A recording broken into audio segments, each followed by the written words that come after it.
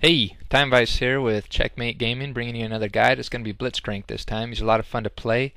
Uh, he's definitely not OP or anything, but if you can get your grabs off, he can be pretty game changing. The ability to just pull somebody from their team out is is I don't know. It's like an unparalleled initiation. It can be game changing if you do it right. Um, so hopefully throughout the game you'll see some nice grabs.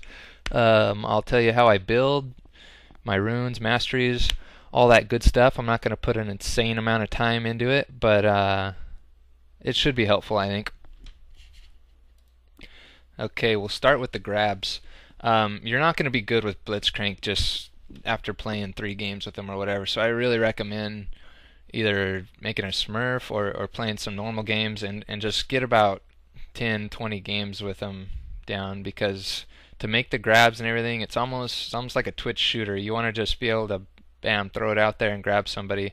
If you if you got to set it up and sit there with the cursor out and and all that, they're likely going to move out of the way because we all know somebody. If you see Morgana or Blitzcrank or or Ezreal or anybody with a skill shot, really like change their path and just kind of start moving towards you, you know they've just queued up their skill shot and and you're going to dodge it if if you have any experience with the deal. But yeah, so you want to be always moving around and um, and just throw the grab out there. You see, I just got grabbed by Blitzcrank there on their team. You want to be really careful around towers. That's that's when he's dangerous early game. You're not going to be too powerful until you get the Manamune um, on your own.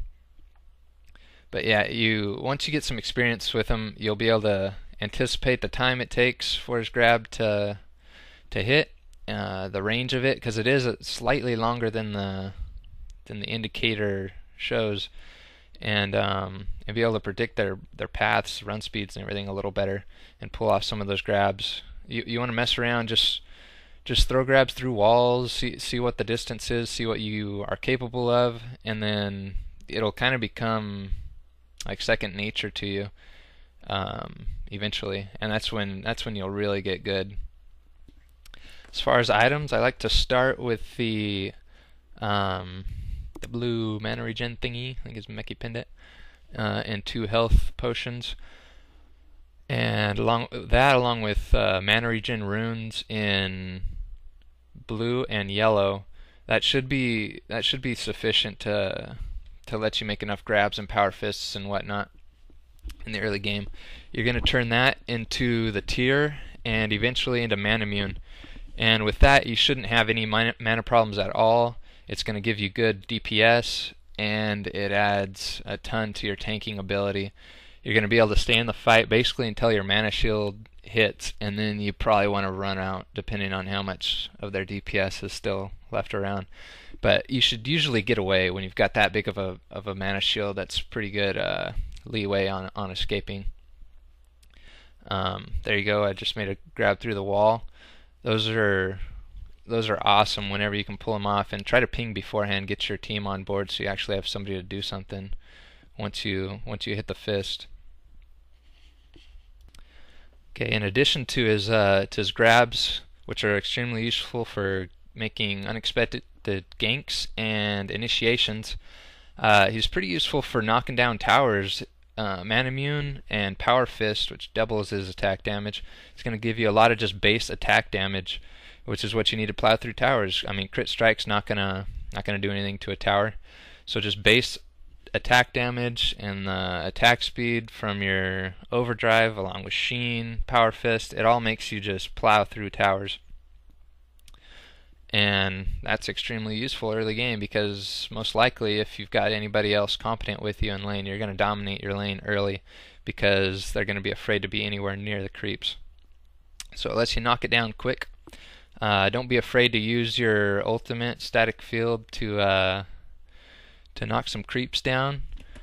It's got a really fast, uh, I think it's like 25 second timer or something like that. That's that's not too bad at all. But try to save it. I mean, if you can anticipate a fight coming up soon, you definitely don't want to be left hanging without it. Uh, you can see here I'm gonna just beast through this tower at pretty low level. One creep wave is enough to to knock it down. Okay, I mentioned the the man Manamune. You're also going to want to get a Sheen, in my opinion, anyways. It's going to double your damage even further.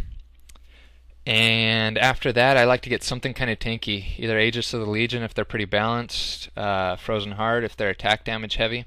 That'll also give you a little bit of mana and and some utility with the attack speed reduction for them. Uh, Banshee's Veil is good. Uh, what else? Um, Guardian Angel's also pretty useful on them. It all depends really. After you get the the Manamune and Sheen, you're pretty set for DPS. If you can uh, if you can swing it after you get your your tankiness down, you want to finish the the Sheen into a Trinity Force. That's what I do anyways.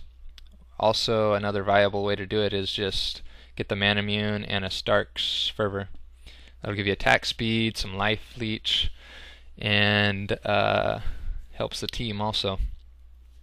So if you want to go like a little more support, you can get like maybe Starks and Aegis of the Legion, become an Aura battery instead of mass DPS. Just depends what your team needs. Also want to pop that ult when everybody's around. It does silence them for a little bit, but not much. More useful as an interrupt, I guess, than a long-term silence.